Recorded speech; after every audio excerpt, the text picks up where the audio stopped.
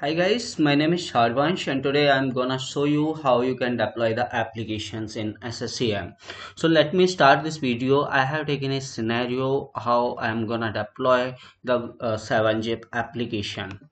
Okay, so I have a 7-zip application with the MSI format. So let me start this video and I will show you how you can deploy your MSI file under the application. So let me create a new application and I am under the SCCM in uh, software library under software library application. So here is uh, by default it selected msi file. If you have the uh, any other format you can select it. But in this scenario i'm gonna show you how you can deploy the msi application. So let me browse this and i'm gonna let me check the source file here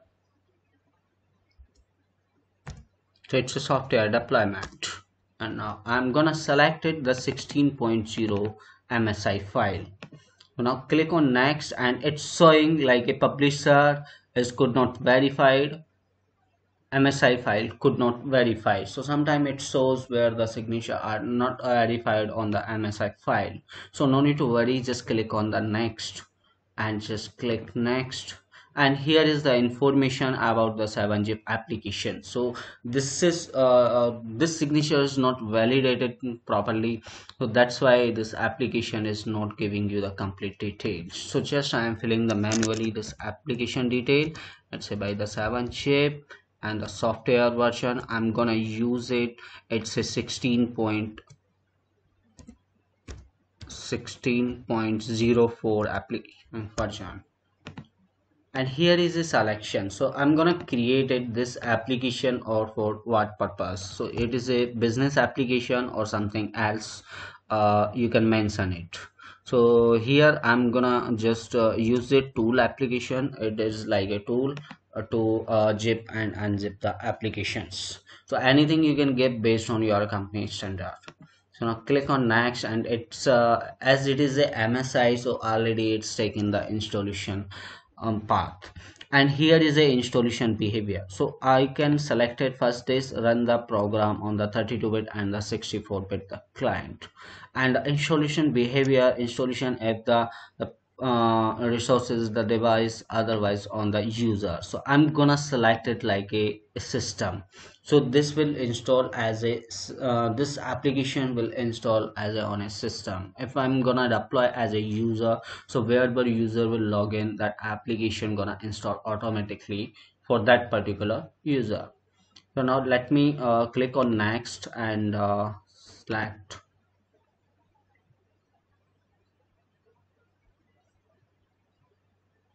it will take few seconds to complete that process.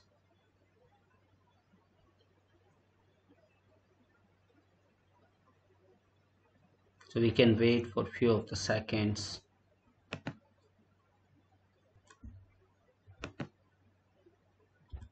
Okay so this got connect uh, so this got completed and now let me close this. And now here uh, we can see it this is the application and it's not distributed to any of the dp and here we can see is the deployment type. So deployment type here is showing the application name. So let me correct it completely. So this name is not looks good. So, so let me remove this and it will be like a uh 16 7 zip 16 version 64 uh, bit edition and now the content. Content location is this like uh, a source file is taken from my uh, source path. And uninstall command same as the install command or no installation command or with a different installation command. Okay so let me uh, just uh, see this option to stage content for the client cache. And i'm not gonna select it so let me go to the uh, as it is. So now here is a deployment type so how you gonna deploy this option? Like download content from the distribution point or, or, run it locally. So if i'm selecting this option it gonna download in the cache folder and from there it will be uh, running. So let me select it and download in the my cache folder. So now here is a program and under the program it's automatically showing like uh, this uh, uh, installation command line is here and uh, sorry uninstall command line is here and the install command line. So both install and uninstall command line i got it in my uh, program. So this information is automatically fetched when you are deploying the msi application now uh, let me go to the detection method. So this detection method also automatically detected where it's showing like a product code. If you want to modify it you can modify and if you want to create it like a, any other conditions so where is the file is available with this folder then it gonna install or it will not install. So uh, already it detected but you can add it like any add clause like a condition with that. If this client version 7zip 16.0 uh, it is uh, not there then only it will install. So condition is like something matching whereas we are detecting if this kind of condition it doesn't match then only it will work. Let me go to the user experience so this is like a, how my the application is behaving behavior during the installation. So install for a system and a lockdown whether the user log whether a whether or not user a lockdown. So that means is if the user is uh, user is logged on on the machine then it will install. If the user is not logged in and machine is online then also it will gonna install it so now the visibility. So i'm gonna hidden it so user will not get any pop-up and interrupt their work. If i'm selecting like a minimize or, or, normally so it will show to the user on the screen that 7zip is getting installed. So always in the production you need to select it the in hidden mode. And now here is a maximum runtime allowed. So it is i'm gonna keep it like a minimum time 15 as it is a very small application so it won't be take much time to install the application. And here is a estimate time. Minimum i'm giving like a five minutes it will take. And now the next option is like a determine the behavior based on the return code. Okay so this is the return code where this already is defined in this program and based on that it will detect whether the application is installed or not so that the return code I can show you here or the by default return code is defined. So 0 means is a success and no reboot and 1707 is success. It's success and no reboot. It should be like a uh, reboot and the soft reboot hard reboot and the fast try. So if i'm getting the exit code in this zero and it will uh, mention me in that is the application is got installed uh, you have the option to edit this and can mention like if the uh, if su success and there is no reboot then what code you want to give it? You can mention it or you can change the by default exit code here. And this option was a requirement. So let's see what is the requirement. So here is like i'm gonna give it based on the uh, devices and what i'm getting here is i can select it like operating system type and operating system time type. If the value is one of any one of these values so you can select the operating system where you're gonna deploy the application. So this will be helpful when you bound the operating system version. Suppose you wanna deploy an application on a windows 10 and by mistakenly you added a windows 7 also. So if you are not using this feature that application gonna install on windows 7 as well. So here is if you want to bound the operating system name you can do it and if you don't want then you can leave as it is. So in I, as i am in a lab environment so i'm not gonna bound it for the windows 7 or 10 now here is a dependency so if i'm having any dependency on this application like uh, first any other application should be installed as a prerequisite and then this application gonna install it so i can give the dependency here. So I, am i will shows you uh, in my the next video how you can create the dependency for any other application so just uh, this video is about to is simply application deployment uh, which is gonna show you how you can deploy a msi application in your machine. So here is a install behavior. What would be the behavior if you want to uh, give the executable file or the display name? You can mention it here. So this part is uh, all done and uh, I am just clicking OK and now the, my deployment type is ready. And now here is no deployment and the deployment phase. Deployment phase is something like uh, uh we divided any application into waves and uh, we can start in the phase wise the deployment suppose we have a, a thousand machines and we uh, don't want to deploy in one phase. So we can divide into two phases like 500 machine and another 500 machines. So both the deployments can be run on end user machine parallelly. Okay so let me do this and uh, first i'm gonna update this application to my dp so distribute content and this is click next. And here i'm gonna give you the dp name. So this is my dp name. And next next. And close it. So after some time this application will be updated. Let me refresh and check it out.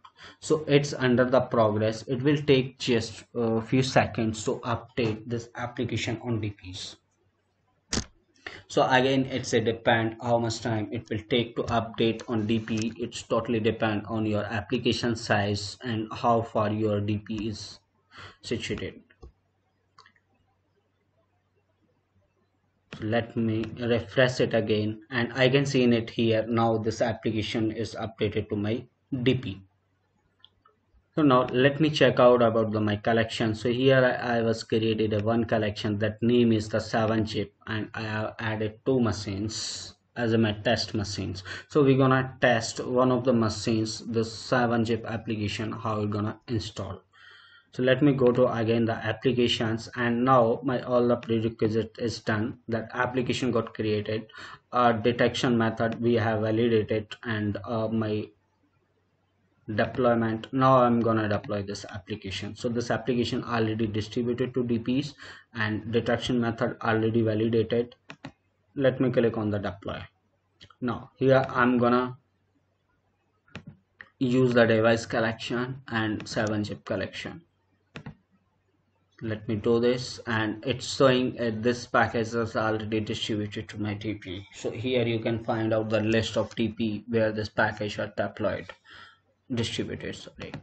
So now it is setting is like how i'm gonna deploy this application as a mandatory or available. So this is the type is install i'm gonna create a action type is a install and this application will be like a available mode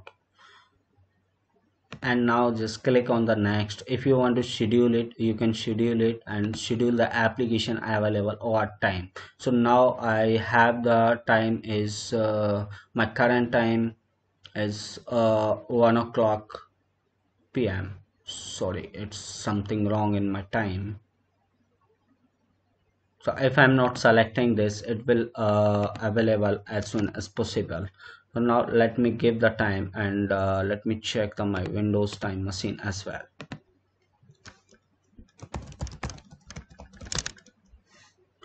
So here is i am showing the correct time. So let me check out the my lab time and this is not correct.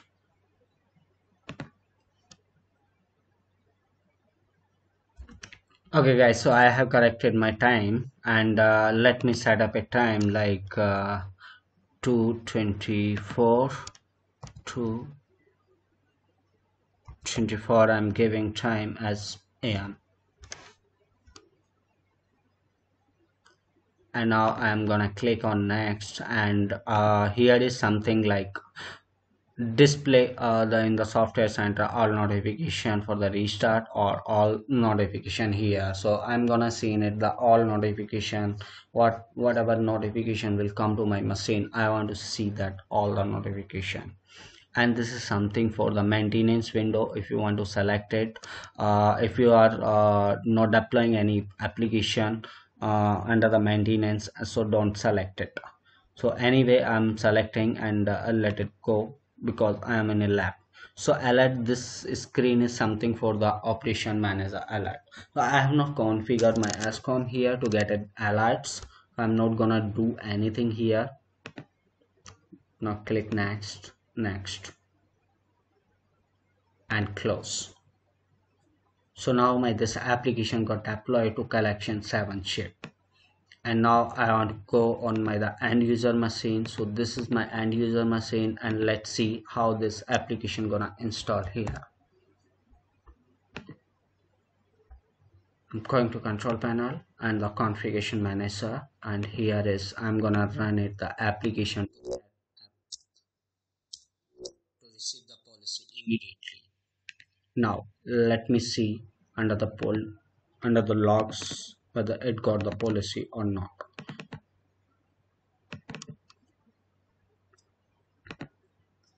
So here is the policy evaluator so here i got a notification. So let me check check what kind of notification it is. The application was came here and something come so let us check the app. Uh, this policy is reached to my machine or not?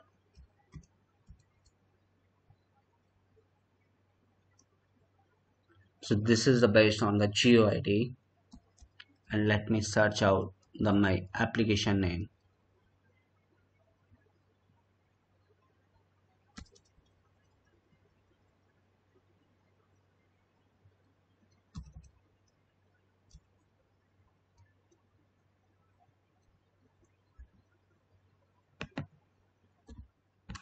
so here i'm gonna see it. Uh this is the deployment id policy id i got it here. And if i match with this my the deployment id is matching uh with in my the policy evaluator log so it is a e008 and the ending by uh 2cf8 and now here i can see in it my the policy is e0 uh, e008 and uh, this is the same deployment id what i receive here. So now uh, my machine got the policy and let me see in the uh, software center. So as i got the pop-up and i click it was notified me now the application is available for me.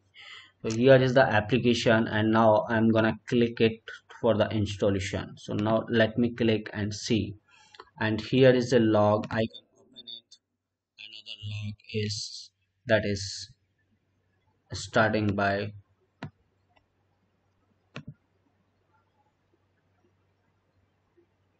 app enforce log so here i can see the uh, log where I can find out whether the, my application is getting installed or not. So here is a application um, enforce environment and it's showing the command line what is used it. And from the cache folder it's use the one folder and this is the msi and the prepare command line.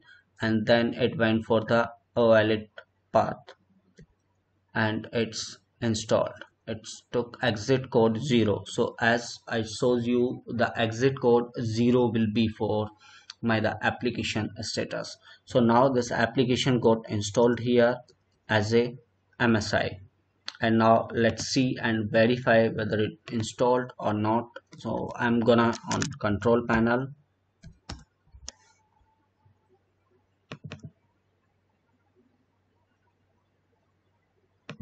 Program and feature. And now here i can find out the 7 zip application is installed with the version of 16.04 so this is what the application we deploy and we seen it how we gonna install it. And now the second option is showing uninstall so once the application installed through software center and then it automatically switch to uninstall button. So guys like uh, this is how we're gonna uh, deploy the application and i will show you something here this deployment status. So here we can seen it number of success. Still the inventory is not reached here. That's why it's showing the zero. So once this inventory reach to SCCM and then it will show you the number of success machines here. Or you can see the under the deployment go to the monitoring and go to the deployments. And here is my the deployment for 7 zip. So here it not showing anything any details so uh, now what you can do it you can just right click and summarize this. So you will get the clear picture about the deployment.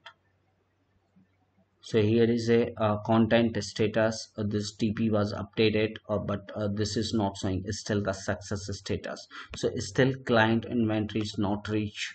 That status didn't reach to SCCM client. That's why it not showing. Once it reach it will added here and you can see it so as of now no machine is showing but it will show after some time. So we have validated on the end user machine that it was installed. And let me run the summarization here and refresh it.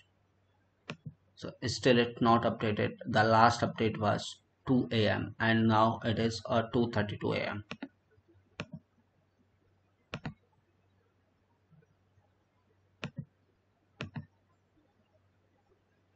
so it will summarize after some time and you can check it the report as well. So guys thank you for watching this video and see you soon in my next video. So next video will be like a uh, other different type of the deployments under the application. Okay guys so thank you for watching this video. See you soon in my next video